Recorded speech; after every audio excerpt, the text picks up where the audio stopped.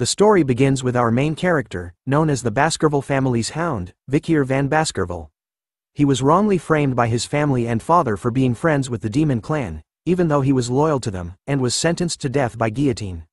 Vikir, at the moment of his death, thought to himself that if he were to ever live again, once he caught his prey, he would no longer live as a hound ever again. An unsettling scene surrounds Vikir as he tries to make sense of his environment.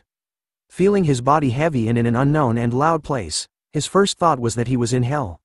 But it turns out to be the grand estate of the Baskerville family, babies are seen in their cribs, crying and making noises. A man, the patriarch of the Baskerville family, comments that the babies are insignificant. As he walks through the room, he could only see that there weren't any special children, only trash gathered around, but then he notices Vikir being silent compared to the other babies. He orders the servants to bring the babies to the cradle of swords, and the servants obey. Vikir recognizes the man as the main culprit behind his death in his previous life, Hugo Le Baskerville. Seeing Hugo's younger appearance, Vikir concludes that he has regressed to when he was a baby. Recalling his past life, Vikir had lived his past life as a hound, born from an illegitimate family and received training in a poor environment. Hounds must be devoted to missions like assassination, intelligence, ambushes and bethreatening. A hound needs to take care of all kinds of dirty work. This was so the Baskerville family could remain the best among the seven families. Vikir remained loyal because he wanted to be acknowledged by the family and Hugo. However, ten years after the demonic gate was opened, even with the humans' victory over the demons, the reward that was given to the loyal hound, Vikir, who had served the family his whole life, was being put down like a simple dog.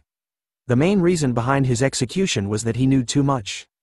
Vikir clenches his fists, swearing never to live that life again. He wants to take revenge immediately but is unable to due to his baby's body and rolls around angrily. Vikir realizes that he needs to become stronger and that the Cradle of Swords is the perfect opportunity. The Cradle of Swords is a trial that every child in the Baskerville family must go through. Children are thrown into a maze of swords, where they need to reach the Styx River to be assessed for their talent. The Styx River is a legendary river that turns the bodies of children into iron but is limited in the number of children it can affect. Vikir recalls that the fastest route to the river is a straight path out of the helix-shaped wall of blades.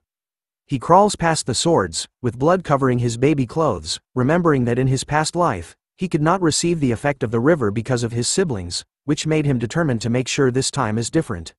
Four men watch as Vikir dunks himself into the river, wanting to keep the Styx River's blessing all to himself for as long as possible. Vikir begins to sink into the river. The water seeps into his body and bones through the cuts, being first made a huge difference. Vikir covers his mouth, as he was determined to endure for as long as he can, no matter how painful it was, he needed to endure it. Two servants shout at Vikir to come out of the water, warning him that he was going to die if he stays underwater any longer. Hugo simply laughs. He asks Barrymore, the head butler, how much time has passed. Barrymore replies that around seven minutes have passed. Hugo is amused, stating that Vikir might die since seven minutes have passed. Hugo calls out to Vikir, calling him his son and asks him to come out. Vikir ignores Hugo's calls and continues to absorb the power of the river with all his might, even sucking in the water of the river through his baby mouth. But then he loses control, his eyes turning white as he continues to himself to endure the pain before blacking out. Hugo holds Vikir by the foot, stating that staying in the river wasn't enough for the baby and that he even drank its water. Hugo notices that Vikir has already grown his teeth, Hugo asks Barrymore what the child's name is. Barrymore replies, Vikir van Baskerville. With a smile on his face, Hugo speaks Vikir's name, saying that a very greedy son has been born. While being held upside down, Vikir continues to plot his revenge against Hugo, waiting to sharpen his canines for the time when he can rip his head off, promising that the Baskerville family will disappear into history by his own hands. Vikir van Baskerville was Hugo Le Baskerville's bastardized son, who was also known to be a genius at the age of 8 but was considered normal in his family. At 20 years old, he took on assassination, espionage, and conquest-type missions. At 29, he felt the limits of his swordsmanship compared to others in the direct lineage of the family. At 30 years of age, the demonic realm gate was opened, marking the beginning of the demon's clan invasion. At 35 years of age, he endured the era of destruction, slaughtering monsters left and right.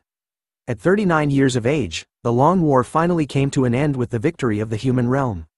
At 40 years of age, Vikir was finally rewarded for his loyalty. The reward? Defamation, false accusation, and the guillotine's blade. Vikir opens his eyes, looking at the ceiling, realizing it is a nursery. He flips over in excitement as this means he has successfully absorbed the power of the Styx River, which meant that he was at a better starting point in his life than before. A servant approaches and places a box in Vikir's crib, questioning why the madam would give such a thing. Vikir wonders why anyone would give him a gift. The box opens slowly, with a dark mist coming out of it. Vikir is taken aback as a long, dark figure slithers out of the box. Vikir recognizes it as a viper called Bloody Mamba, realizing that the madam had sent rare vipers here to kill him. Knowing who madam is, as there are only a few that are called that in the family, which meant she sent those snakes to reduce the competition. The vipers hiss at Vikir, who knew that these things were capable of killing all of the babies in the nursery. But to our surprise, Vikir quickly grabs both vipers by the throat while smiling widely like a blood-driven hound, expecting such treatment from the Baskervilles. He strangles the vipers with force, thinking to bring down the family with his own two hands. Bloodstains are seen on the bedsheet of the crib as the vipers no longer made any sound. The next day, the servants are shocked, seeing Vikir sleeping soundly while surrounded by the dead bodies of the deadly vipers which had been ripped to pieces. Orders were given to execute the nannies after being tortured, the ones on shift the night the vipers came, but the reason for their appearance remains unknown. Only Vikir knew the truth. Eight years later, Vikir sits in class, listening to a lecture. The teacher talks about the different levels of swordsmanship. Those who cannot yet imbue the sword with mana are considered a sword beginner. The level at which you can infuse the blade with a little bit of mana is called sword expert. When the blade emits mana in liquid like aura form, that is sword graduator. The final level, where the aura is solid in its form freely changeable, is called the sword master. The teacher notes that the strongest member of the Baskervilles, Sir Hugo, is at the sword master level. The children are in awe of this fact. Knowing that Hugo was already a sword master at this point in time, Vikir thinks to himself that he needs to regain his strength that he had, just like in his previous life, before his coming of age ceremony. The teacher notices Vikir being lost in thought again and highlights his achievements. Having a strong body due to diving in the Styx River for seven minutes, and teaching him one thing would lead him to understand a hundred things. He is more talented than the others, and the patriarch would be happy with this. While Vikir thinks about how long it will take to kill Hugo at the age of eight, a set of triplets grins widely as they stare at him, their eyes red with a scary thought in their heads. A hand shoves Vikir as he is being called garbage van. It turns out to be the triplets. Having heard the strange rumors about Vikir being in the river for seven minutes and strangling two vipers when he was a baby, they approach him. Vikir remains silent as he recalls his memories of these three, knowing they were the ones who stabbed him when he was running away due to the defamation in his previous life. They were called the Hugo Le Baskerville Trident. We'll simply call them high, middle, and low, all nine years old. They shout at Vikir to stop lying, stating they don't like him. Knowing they'll be troublesome in the future, Vikir decides that it was a good idea to put them in their place now. High points a knife at Vikir, stating that Vikir's body was like steel since he was in the river for so long, making him immune to injuries from blades. High asks if he can test it. High calls Low. Low covers Vikir's mouth to stop him from breathing, stating he will eat his hand if Vikir endures for three minutes. Vikir decides to play along with their scheme, realizing that even children could be cruel. One minute passes, as High and Middle believe the rumor is fake. Three minutes pass, and they realize Vikir is good. Ten minutes pass, and they are too stunned to speak, realizing that the rumors about Vikir were actually true. They decide to let Vikir go, since it was no longer fun for them to mess with him. But then a crunching sound is heard as Low looks at his hand, and blood appears. Vikir spits as Low screams in pain. High and middle shout at Vikir, asking what he is doing. Vikir, with bright red eyes and blood all over his mouth, gives the triplets a creepy smile, repeating that Low said he would eat his hand if he holds on for more than three minutes. High and middle refute by saying they aren't scared of Vikir, but Low is afraid as he holds his bleeding hand. High and middle stare at Low in disbelief, who complains to them that he had gotten his finger bitten off. They attempt to leave to find a priest to fix Low's hand, but Vikir stops them. In anger, High stabs Vikir in the stomach, stating they are older than him. To his surprise, the knife doesn't cut him. Vikir twists his arm in response to the sudden attack, causing High to scream in pain, while he reminds them that they were a part of the Baskerville clan, where power and talent are greater than age. High continues to scream in pain as Vikir twists his hand. Vikir, in hound mode with his blood-red glowing eyes, grins widely and tells them that they were going to play with him till the very end. High, in pain, shouts that the rumors are true as Vikir lets go of his hand, before giving him a punch straight to the face. Middle and Low are shocked as High falls to the ground with his teeth broken and nose bleeding. Middle attempts to fight, but Vikir simply kicks him to the side with no effort. Low stumbles onto the ground, shocked at what has happened. Vikir tells him not to be afraid, as he'll get better in no time once treated. But he warns him, as he picks the knife off the floor, that he won't be leaving the room and that they have to live with the discomfort of their own bodies at this rate. Vikir decides to be generous and offers one of them a chance to leave the room right now as he stares at the knife in his hand. Low asks which of them could leave, as the other two brothers hold onto their wounds. The knife is tossed to them as Vikir tells them to decide among themselves. Vikir slowly exits the room, mentioning he can't wait too long and that it should be decided quickly. With blood-red eyes and a grin on his face, Vikir turns to them as the door closes, saying at least one of them should live. As the door closes, the triplets are left in shock but soon stare at one another. Sounds of fighting and yelling are heard behind the doors as Vikir stands listening, smiling. The trident of Baskerville was beginning to split apart. In another part of the estate, Barrymore reports to Hugo that another bloody situation has occurred with the Morgue clan regarding the Ruby Mines, with the Morgue clan stating it was theirs. Hugo says an opportunity in the future will allow them to discuss it properly and wonders what else there is to report. In regards to the interim evaluation of the juvenile fortress, Barrymore reports that Vikir scored the highest in the written exam. Hugo smiles happily at that fact and wonders when the practical exam will happen for the children at the juvenile fortress. In five days, Guardian Knights have left to prepare, Barrymore replies, making the fortress completely empty now. Barrymore hesitates at first but further reports that there was a big fight between the young masters, stating that there were no deaths, but that High's teeth have been completely damaged, Middle's jaw was smashed in, and Low's left index finger was amputated. They had recovered from their physical injuries, but their mental state was damaged. Hugo is surprised to hear that the triplets were fighting amongst themselves, as they were close with one another. Barrymore states that Vikir was involved, causing Hugo to be alarmed.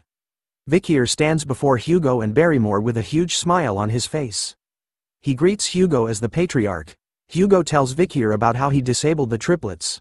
Vikir replies that they have received the proper medical treatment since then. But Hugo wasn't interested in their physical states, instead he talked about how their hearts were disabled. Since the day of the beating, the triplets were no longer eating or talking together anymore, making their combination technique completely fall apart since their relationship was practically non-existent. Vikir smiles silently after hearing that, after all, his plan worked. Hugo asks if it was wrong that Vikir turned his brothers into a total mess. Vikir, with a cold dead look in his eyes, replies that he was simply stronger and wonders if the stronger person is ever wrong. Hugo shares that his brothers came before and forgave him, so he questions Vikir whether he feels an ounce of shame. Vikir couldn't believe that the triplets actually forgave him, which made him recall a past memory where the youngest daughter of a family that was ruined by the Baskerville clan came and paid Hugo a visit. She had become a nun after many years, and told Hugo she forgave him and offered him a mass. Hugo's response after that mass was, as Vikir speaks out loud, forgiveness is just an excuse made by the weak who cannot seek revenge due to their lack of strength. Vikir's eyes glow red with a unique shine as he speaks those words. Hugo is elated at what was said, smiling widely with the same look in his eyes. Hugo recites the family motto, only the strong will reign supreme, weakness is a sin. Hugo rewards Vikir by allowing him to take any snack from the food storage, just enough for him to carry. Vikir is happy and asks for chocolate, thanking the patriarch for the reward. As he turns to leave, Hugo calls him his son and tells him to do well on the interim evaluation, not to lose to direct descendants. Vikir is disgusted by what he hears but replies, Yes, my lord, anyway. In the storage room of the clan, Barrymore introduces the infamous chocolate enjoyed by the gourmands of the Morgue clan, saying it's of the highest quality and hard to get. Vikir declines it, saying he needs cacao beans that have a rich aroma. Barrymore and the chefs are confused by the request. Cacao beans, colored purple and called bloody beans, are given to Vikir as the chef explains to him that these bloody beans were known for their rich aroma. Each bean can produce 100 liters of chocolate. Vikir tastes them and is appalled by their bitterness. Barrymore wonders to himself if Vikir really likes chocolate enough to eat such bitter beans on their own, thinking Vikir was brilliant for finding a way to get chocolate even with the restrictions placed by the patriarch. The chef asks if he wants to process the beans, but Vikir declines and takes them as is. Barrymore wonders if Vikir has such a weird taste. However, Vikir did not get the bloody beans to turn them into chocolate to eat but to use them in the practical exam five days later. Up in the mountains, Vikir stands, grinning widely, knowing that a huge catastrophe will occur, something that has never happened in the clan before. In this world, the Baskerville family is referred to as the Berserker family. Children of the Baskerville family are put through strenuous events and early education from a young age. When they are able to take their first steps, for their basic stamina, they need to run up a steep mountain. Except for certain exceptions, they are never allowed to lie down or be on their stomachs. When it's time to sleep, in order to adjust to tough environments, they can only sleep alongside a monster corpse, no teddy bear or pillows like most of us. When that period ends, they turn 8 years old, and the young hounds will start their deadly evaluation. This is what caused the Baskerville family to be called the Berserker family. This brings us to the practical evaluation, a survival exam. In a mountain, that's located on the outskirts of the territory, filled with monsters. The young masters are gathered in a territory at the far end of the La Rouge et La Noire mountain. Pavlov, the instructor of the exam and a member of the Shadow Dogs, informs them that the basic contents of the practical evaluation is simple. He instructs the masters on what needs to be done survive for one month while hunting large and strong monsters. They needed to be mindful of these two conditions and survive. 10 points are given for surviving. 30 if they survive without being disabled. Failing others and surviving gives them 50 points. Surviving after defeating a monster, 70 points. If all conditions mentioned are met, 90 points. In addition, stealing badges from others makes their points yours. Dying results in 0 points. 100 points do not exist. Pavlov reminds them of Hugo's lesson a swordsman dies when they become arrogant. He advises them not to leave the designated area, as the mountain contains many undiscovered things it was recommended that they move within the given space where they had subjugated the monsters. During the exam, shadow dogs also known as guardian knights will be hiding and grading them. But as Pavlov was giving out the instructions, gossip spreads amongst the candidates as they talk of the rumors about Vikir, where he had survived for more than six minutes in the Styx River and that he had killed two poisonous vipers when he was a baby, even scoring full marks in the theory exam, making them wonder if he was going to be good at the practical as well. Vikir smiles as he remembers the mountain, after all, it's been some time since he was here from his previous life. The triplets avoid looking at him. Pavlov rings the bell, marking the start of the exam, and prays for their fortune. The young masters instantly vanish, each with a plan of their own. One of the young masters was eager to occupy an advantageous area, and decided on the place he saw in last year's exam. While other young masters decide to team up and steal the badges from others while following them. The triplets argue with one another, deciding on doing things on their own instead of helping one another like before. The moment the young masters all left, Pavlov took out a single cigarette, noting that the exam has officially begun. As he takes a puff, he notes that killing is not prohibited but discouraged instead. After all, if they killed someone else, they would be deducted points, so everyone usually tries their best in order not to kill someone easily. Pavlov smokes a cigarette, as the wind lifts his fringe, revealing a nasty scar across his left eye, he knows that the shadow dogs will do their best in order to keep casualties to a minimum. A shadow dog follows Vikir, wondering where he is going as the area they were at was next to the restricted area. This shadow dog was actually looking forward to seeing Vikir's skills due to his previous achievements since childhood. Vikir arrives at a huge tree, poking at the ground to check as the soft ground is best. He decides to live and take a break here as the shadow dog watches him. The shadow dog is shocked at Vikir taking a break. Vikir gathers wood and starts building things like in Minecraft while the others fight amongst themselves. Even the triplets ended up fighting with a bear together. Meanwhile, T the shadow dog is in disbelief as Vikir simply gathers resources, wondering if he plans to just hide here. The shadow dog decides to leave, thinking that the rumors about Vikir were all fake. After thinking that Vikir was just going to hide during the exam, the shadow dog decides that there was no point in following him and leaves. The moment he does, Vikir could sense that the shadow dog has left. He was glad that the shadow dog was finally gone. Looking at the campfire while he cooks a meal, Vikir recalled how camping like this reminded him of his old days. Before, a subordinate had told Vikir that cacao beans make fish less smelly, and that bloody beans were the best since they had a high concentration of cacao. Vikir stares into the flames and smoke, knowing he has finished preparing, deciding to start hunting as pits of spears surround him. The time to hunt was now. A few days pass as Vikir walks into the restricted area. Looking around, he knew that from this point onwards, it was the unknown restricted area. In his previous life as a scout, Vikir could walk around here casually. As he ventures deeper into the unknown area, Vikir could smell something that pierced his nose, along with some burnt tree roots which made him realize that what he was looking for was around here somewhere. The sound of something sizzling in the middle of the night catches his attention as he turns to look at what it was.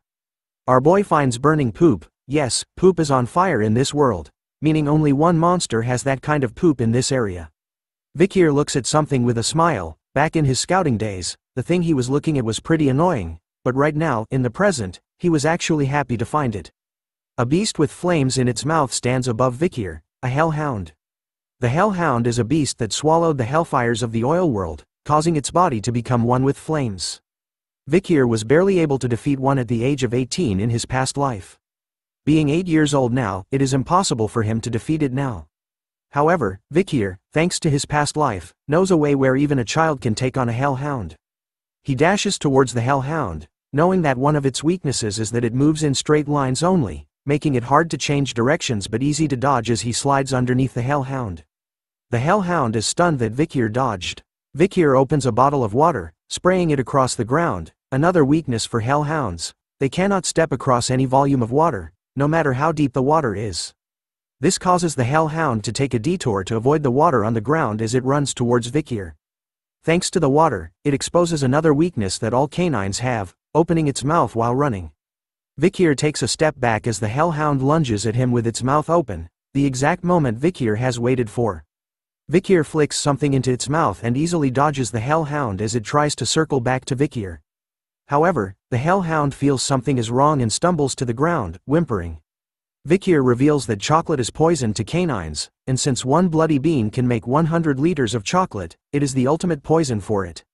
The hellhound lays on the ground, whimpering, unable to move. Vikir walks towards it, drawing his sword, looking for where the ribs aren't present to target its kidney as that was its weak spot.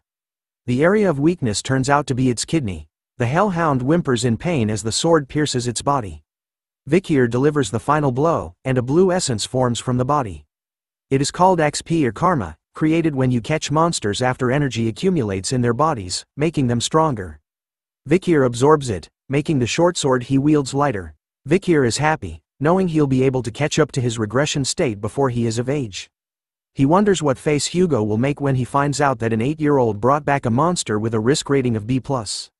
With this monster, Vikir secures first place in the practical test and has decided on what reward to get. An enormous reward that he would never dream of asking for in his previous life. He was going to take a certain book, the value of which no one in this era really knows, except for him. Vikir proceeds to decapitate the head of the hellhound but senses a presence behind him. He turns to see four more hellhounds. Oh hell no, he wonders if they came because of its cries and that they want to avenge it. Vikir chops off the head of the dead hellhound, excited at the thought of fighting more hellhounds as he never planned on just killing one of them, he even still has more beans left. However, a bigger presence is felt by the hellhounds, and Vikir notices. Believing the hellhounds to be afraid of his bloodthirst, the hellhounds bow their heads in fear. But hellhounds never submit, even if they are to die. Vikir realizes something and turns around to see a three-headed figure. This dog monster was different as its aura was purple along with whatever is coming out of it. A Cerberus? Vikir is alarmed as it has a risk rating of A+, but was supposed to be at the 7th ridge. Why is it here on the 1st? Vikir thinks. Vikir then notices wounds and blood dripping from its body. Multiple arrows and other injuries are inflicted upon the beast upon closer inspection, which meant that someone else was hunting this beast down. Vikir concludes that it's because of the barbarian tribes across the mountain, as it was their territory, and that the Cerberus came all this way because it was being chased by them. Vikir sees the chance of a lifetime, to hunt an injured A-plus beast. He must kill it no matter what. Vikir has been hiding his power back at the Baskerville household, this includes the fact that he had mastered the third Baskerville technique and being at a high level as a sword expert. Our boy has already reached a level that no other hounds would attain when they became adults. Vikir covers his blade in aura and dashes to the injured Cerberus. He attempts to slice one of its heads but is interfered with by another head. He slices it in reaction. Upon slicing it, Vikir realizes that killing it is possible. Before his regression, due to the war with demons, Vikir was able to polish his swordsmanship to the point that there was no sign of unnecessary movements in his techniques. Add to that his strengthened body from the Styx River. All the weapons Vikir possessed was working well against the Cerberus. But that's what he thought. Reality hits him hard as the Cerberus lands a deadly blow on Vikir, smashing his sword to bits. Vikir had let his guard down for a moment, resulting in a deadly blow from its claws. Vikir is flung straight into a tree. He coughs blood as his eyes turn white from the impact. Thanks for watching the latest part from the voice of Manhwa. Subscribe for more content and don't forget to comment below what you want to see in the future. Like and share for more.